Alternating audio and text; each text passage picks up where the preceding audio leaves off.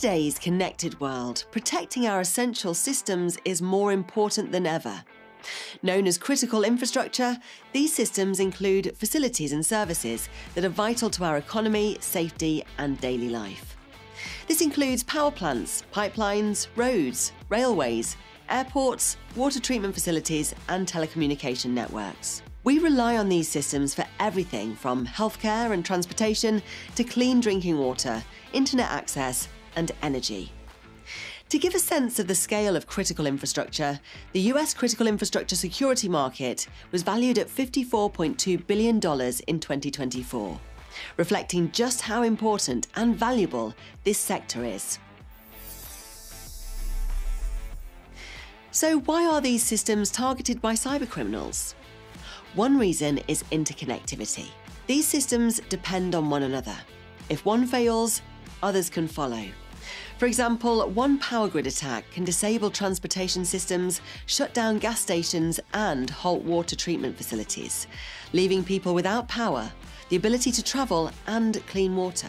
The tightly woven nature of these systems means that a breach in one can cascade through others, enabling attackers to inflict extensive and far reaching damage. Attackers are also often motivated by financial gain aiming to steal sensitive data or demand ransom payments, while others may act on geopolitical motives, aiming to cause disruption or weaken national security.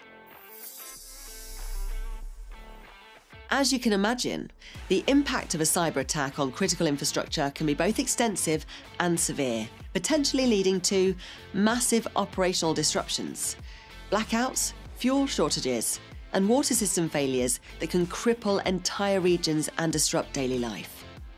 Severe economic consequences, from costly system recovery efforts to prolonged business downtime, organisations may suffer millions in financial losses. Compromise national security. Attacks can disrupt military operations, interfere with defence capabilities, or expose classified government data. Real world physical danger. When essential services like hospitals, emergency response, or water treatment are taken offline, public safety and lives are put at risk. As you can see, cybersecurity is not just a tech issue, it's a life issue. And protecting critical infrastructure means safeguarding the systems we all depend on every day.